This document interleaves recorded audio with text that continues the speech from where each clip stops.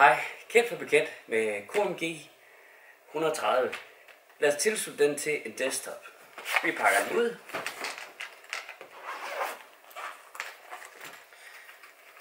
Her har vi lommesenderen med mikrofonen til her.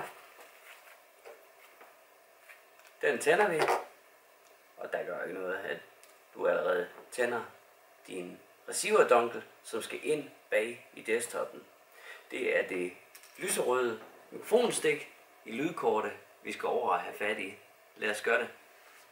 Så vi skal lokalisere vores lydkort, og typisk er det et pink stik til mikrofon. Der vil være et symbol for mikrofon.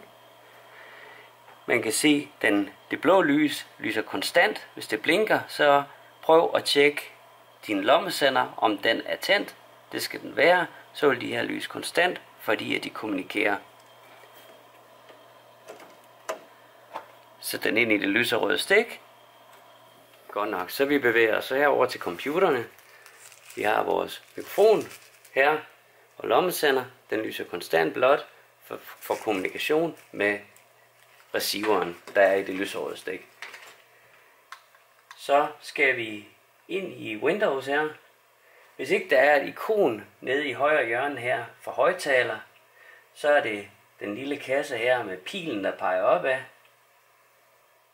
højre. Så vi skal ned til vores boks her med pilen op og venstre klik. Så finder du højtaleren her. Højre klik på højtaleren. Tryk på venstre klik på optagelsesenheder. Så vil du se, den prompter en boks her. Og jeg kan se, at den allerede står på den mikrofon.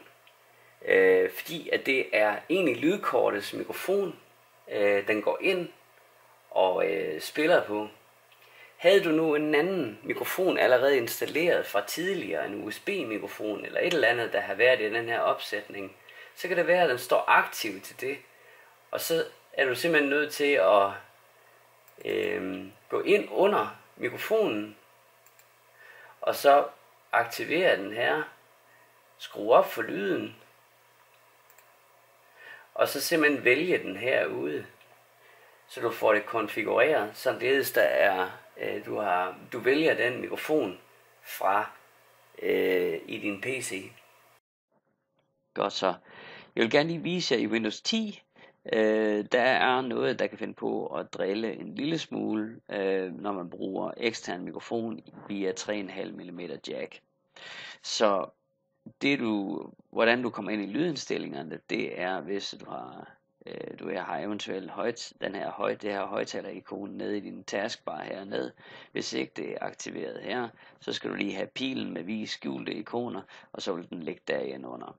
Men jeg har det i hvert fald liggende her, så her skal du højreklikke med musen på øh, højtaleren, og så op og vælge med øh, venstre klik øh, på lyde, og så over i lydindstillingerne her og vælge optagelse.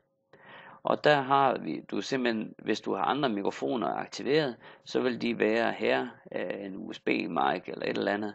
Så hvis det er, at men det er så det interne lydkort egentlig, det er dens mikrofonindgang, vi skal have valgt her. Så det er, øh, i det her tilfælde er det en øh, laptop, som jeg har.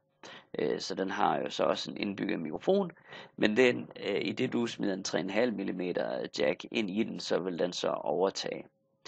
Øh, dobbeltklik med venstre, venstre dobbeltklik derpå. Det vi så skal ind i, det er den, der hedder niveauer. Og det, der kan øh, tit og ofte være noget, der sker, når man åbner et program i, med Windows 10, det er, at mikrofonen her skal lige ind og aktiveres.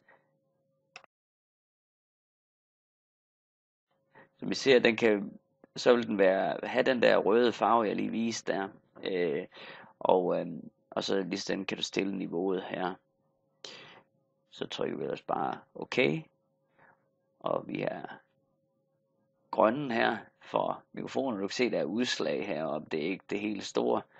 Øh, men øh, Øh, det er et justeringsarbejde, altså i din gain-struktur. Det kan være inde i programmet, at der er skruet op, ligesom det er her. Jeg bruger Pinnacle Studio. Øhm, så tryk OK. Og det er det. Så nu kører den mikrofon. Øh, det det, det er, det er simpelthen KMG øh, 120, at jeg bruger til det. Er det kendt for bekendt med Kimofon KMG 120, som også er gældende for 130 i forbindelse med at sætte den op på en desktop. Ha' det sjovt med projekterne derude. Hej hej.